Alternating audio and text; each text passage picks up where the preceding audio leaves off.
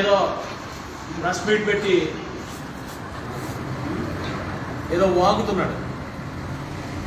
రోడ్లు భవనాల శాఖ మంత్రి గారు ఆల్రెడీ అంట అరవై పర్సెంట్ కంప్లీట్ అయిపోయిందంట. నేను Achyutapuram Anakapalli road R and B road ఆనుకుని మునవపాక మీదకి వెళ్తుంది. మునవపాకలో నేను ఉన్నాను తాడిశెట్టి రాజా. నేను చెప్తున్నా. కనీసం పని స్టార్ట్ అవ్వలా? కనీసం ఒక్క రూపాయి పని స్టార్ట్ అవ్వలా? ఎక్కడ? నీ ఆర్ఎన్బి దగ్గర ఎలమంచి నియోజకవర్గం నుంచి మాట్లాడుతున్నా. రెండు వేల తొమ్మిదిలో ఇక్కడ కనబాబు రాజు ఎమ్మెల్యేగా అయ్యి అక్కడ శంకుస్థాపన చేశాడు యలమంచిలి ఫ్లైఓవర్.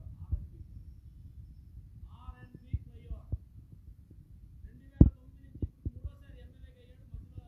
మధ్యలో ఒకసారి తెలుగుదేశం అయ్యాడు. అప్పుడు కూడా ఇదే కనబాబు రాజు తెలుగుదేశం ఉన్నాడు. అంటే ఏ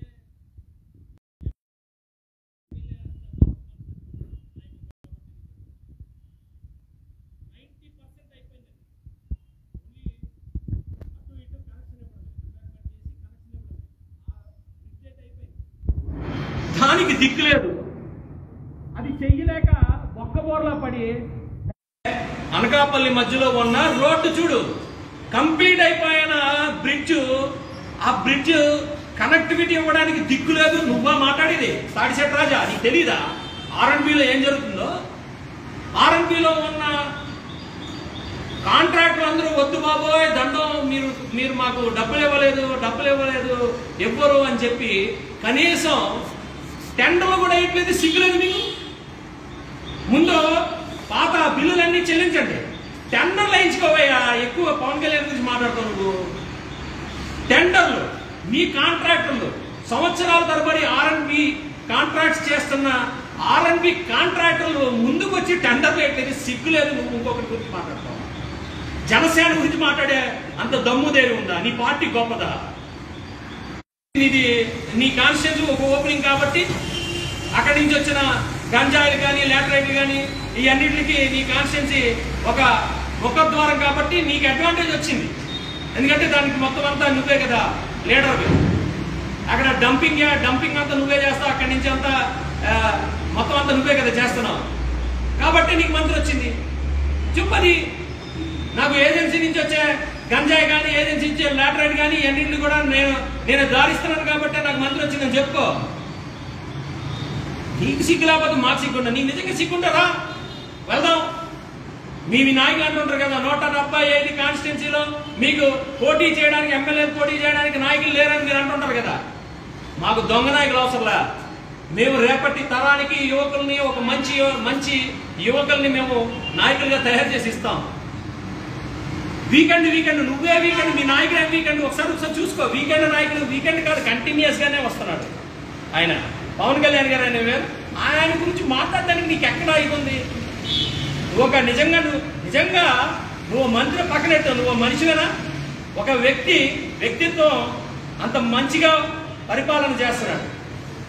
ప్రజాస్వామ్యంలో మీకు ఇంకా తెలియని విషయం ఏంటంటే ఓటు నేను ఇగో ఇది చేస్తాను నాకు ఓటు వేయండి అని అడగడం వరకే ప్రజాస్వామ్యం.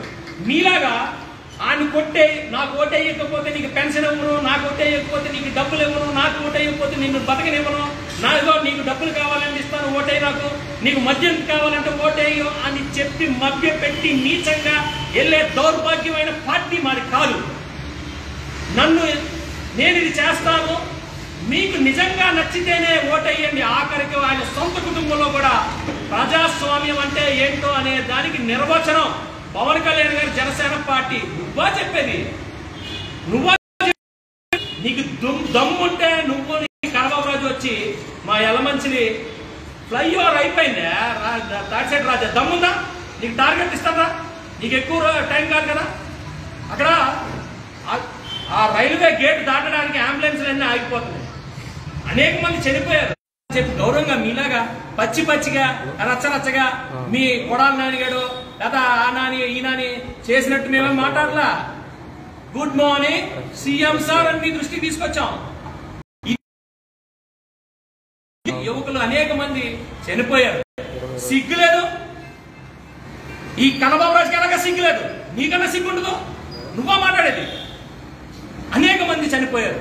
అనేక మంది ఇబ్బంది పడుతున్నారు. కాళ్ళు చేతులు ఇరిగిపోయి ఏం చేయాలో తెలియక ఎవరైతే ఆ కుటుంబాన్ని ఏం సాధించాడని కన్నబాబు రాజు గడప గడపకి వెళ్తున్నాడు. ఈ రోడ్ వేసి అప్పుడు మాట్లాడమనండి. ఈ రోడ్డు వేసి నువ్వు మాట్లాడు. నేను ఓపెన్ ఓపెన్గా చెప్పు నీకు నీకు దిక్కు లేదు. దివాణం లేదు ఈ రోజు ఏదో మభ్య పెట్టడానికి ఇచ్చేస్తా ఉన్నారు. రెండు వేల తొమ్మిదిలో మొదలు పెట్టిన ఆ ఫ్లైఓవర్ ఇప్పటికీ చేయలేదు. నువ్వు కాంగ్రెస్లో ఆడు కాంగ్రెస్లో అందరూ కాంగ్రెస్ ఉండలేగా? పది సంవత్సరాలు కాంగ్రెస్ చేశారుగా? ఐదు సంవత్సరాలు మళ్ళా తెలుగుదేశం వచ్చిన మళ్ళా మూడు సంవత్సరాలు వైఎస్ఆర్సీపీ అదే దానికి పిల్ల కాంగ్రెస్ కే కదా ఇది కాంగ్రెస్. మీరా మాట్లాడేది జనసేన గురించి చెప్తున్నా. ఈ రోజు ఇక్కడ మబ్బి పెట్టడానికి అనకాపల్లి అచితాపురం రోడ్డు మీరు మొదలు పెడతానని చెప్తున్నారు. ఎప్పుడు కంప్లీట్ చేస్తామని చెప్పిన తర్వాత మొదలు పెట్టండి. ఎందుకంటే ఇంకా దౌర్భాగ్యమైన పరిస్థితులకి ఈరోజు వస్తుంది.